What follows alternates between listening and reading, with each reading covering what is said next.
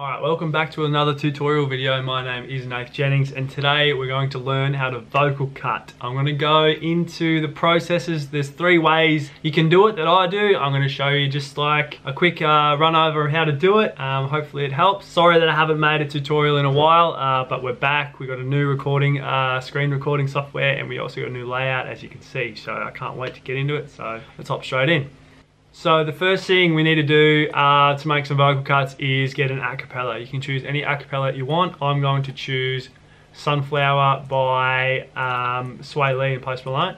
So I'm just going to drop that into my project now. Alright, so now we have our acapella. What we want to do is fit it to tempo. So we want to change our BPM down to 128 beats per minute, just like that. We want to click the button here this brings up a heap of uh, different options. You want to go fit to tempo, click on that. You want to go 75 to 150 because 128 is between those numbers. That's how I think it works. I just go with that. It works for me pretty much every time. So that's going to stretch, as you can see, it's up here stretching, bang, it's stretched. So we're going to listen to it. And to know if that's in time or not, we can turn on this little metronome. It like it gives us a beat without actually having a beat. Yeah, so it's yeah, a little tick. So we have to line up our uh, acapella just so we know. You don't necessarily need to do this if you're making vocal cuts, but like if you're going to be remixing a song, um, you want to you know make sure everything lined up, and then make the vocal cuts after you've structured. Needless to say, I keep a check. So that's a little bit out. So you want to zoom in. Needless to say, I keep a check. She was a bad bad, nevertheless. So that's perfect. That's in 128 beats per minute. So the first process we're gonna go through is just manual cutting. What you wanna do is you wanna cut, because we've lined it up in beat, you wanna cut it here so it's perfectly on the grid. And you, then you wanna cut it uh, there, I think, what's that, 4, 8, 12, 16 bars. You wanna solo it just like that. And then you wanna make it brand, uh, you wanna make it unique as a sample. So you're gonna make it just that. That's all the sample will be, is what you can see. Click that, click yes. Save it to your downloads. Um, now it's just if we continue that, it's not it's no longer um, the full song. So what you want to do is you want to assign that to a free mixing track, yeah? So you double click on it, go up here, route to free mixing track. So now it's on its own mixing track, which is channel 5. We want to add these effects, right? These are all the effects I use. Fruity Parametric Equalizer 2, yeah? Bring that down, 1 and a 2. Take the low end out. Uh, Soundgoodizer, put that about 1 quarter. Kickstart, it's going to sidechain it. That one. Reverb, Fruity Reverb 2. About that. And then now we listen to it. Now we're to do, um, now we've got it like that. Uh, we've got it here, we want to click here, chop, time base, chop in beats. Then what you want to do is you want to do that, Control C, Control V, put it down. Now you've got all these separate notes.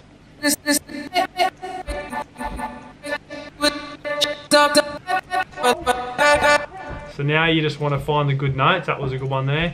And you just want to make a melody with all these new sounds you have. Might turn the kickstart off now real quick. Then you just got to try and make a melody that sounds nice. So I got something basic down, it's nothing crazy. Uh, this acapella was a lot harder than I thought. Some acapellas, like, they don't have the greatest notes. Swae Lee's voice is incredible, but sometimes it doesn't work. I like working with female vocals. Um, it's a lot easier for me, I feel like, but this is like just a basic vocal cut just from putting it down. Sometimes you can pitch them up as well. Um, you got to find the right note. Sometimes it sounds better. It doesn't. Sounds going way too high already, so maybe you can go down. 200 cents we looked alright. So that's uh, one way to do vocal cuts. You just grab an acapella and try and find all the good notes and then try and make like a melody with all the different sounds and you can pitch them, add effects and whatnot.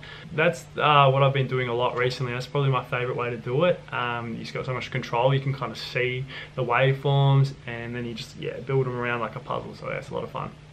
Alright, so the second technique of vocal cutting is Slicex. So I'm going to pull that up right now. This is what it looks like, it looks like that. So what we wanna do is we wanna double click on our vocal. I'm using Love Scenario by iKON. It's got a lot of really nice um, sung, like stretched out sung notes, a lot of good vowels. So you double click on that, you wanna go up here, you wanna go all. I did this before, but it wasn't recording, so we're gonna have to do it again. We're gonna put it in Slicex. It's gonna start singing. We're doing it all again. Double click on here, comes up in Slicex. Down here, we want to go there. Down to Auto Slice, Medium Auto Slice. That's going to cut the song up into its own unique uh, piano note, as you can see. So if we listen to the song. Now all we got to do is find the good notes. Every marker is a brand new note. So what we're going to do is put it on a mixing track, just like before. EQ2, take it lows. Kickstart, um, sidechain. Always put the sidechain on the bottom because um, you want all your effects to happen then it sidechains. Otherwise, you know, it'll sidechain first, then the effects come through later. So a bit of reverb, sound good goodizer just to boost it, but not too much.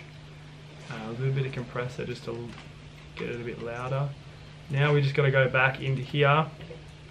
Right click to go to piano roll. Now he's got to make a melody. So here's the one I prepared earlier um, when I was recording, but the screen wasn't. So uh, marker 105 sounds like this. Here we got. And I just place them down and try and make a melody and it come out like this.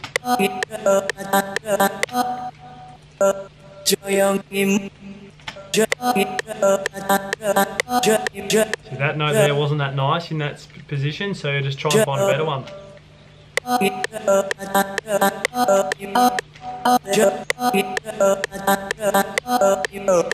And these, these little um, buttons here, they're like a slide note. So have you seen that that note like went oh? So you wanna, you can use that. Just like that. Sometimes it works, sometimes it doesn't, but like everything is just trial and error. Have fun with it. Just click around. Just like that. So that's how you Slicex. It's um, quite simple. Put the acapella in, cut it up, and then bang, try find the nice notes and make your melody. Alright, so this is the third and final uh, way that I vocal cut. I don't do it very often. I did it um, when I made that Tiger King meme. I don't do it very often though, so I'll show you how to do it still. Uh, what you want to do is you want to find a nice note that's sung like straight. It doesn't have like, you know, it doesn't go like ah, ah. It's just going to be like one note, yeah? So if we look through Don't You Worry Child, I'm sure we can find it. Right there, alright? So we want to zoom in. We want to cut that. We want to isolate it. And we want to make it unique as a sample. So we just get that little note there, yeah? Uh, now what we want to do is we want to, um, we need to go up to here, we need to go unsorted, and we have to drag this in to unsorted.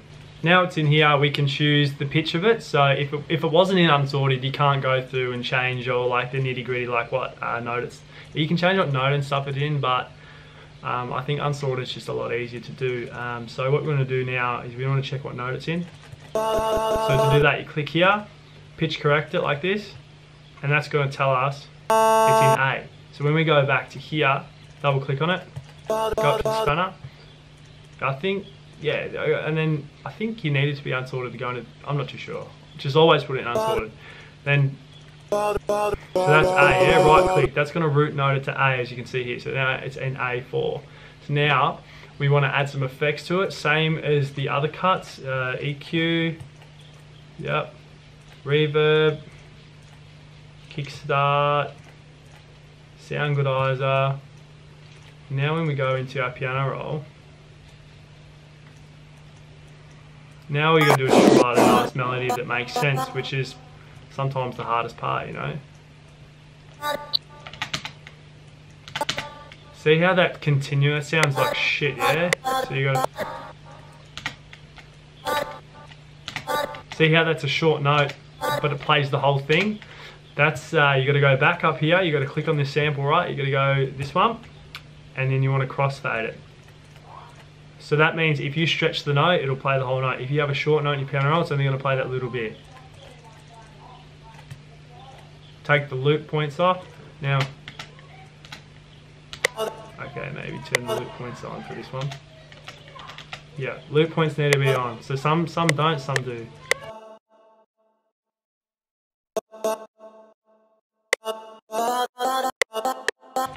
Going to write a melody.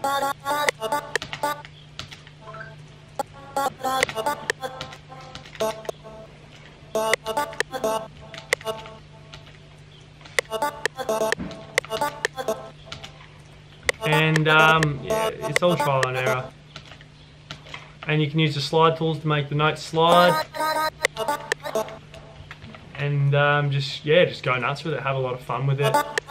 So that was all just from Swedish House Mafia, Don't Worry Child, just like a little vowel that we found in the track.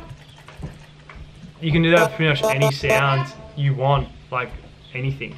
But yeah, that was uh, three ways that I vocal cut. I hope it helped. Um, I hope it makes life a lot easier for you uh, producers out there. Um, if you've got any questions, uh, make sure to hit me up on Instagram, Nate underscore Jennings. If you'd like to see uh, another video on anything in particular, let me know about it. Um, other than that, thank you so much for watching. and I'll see you in the next one.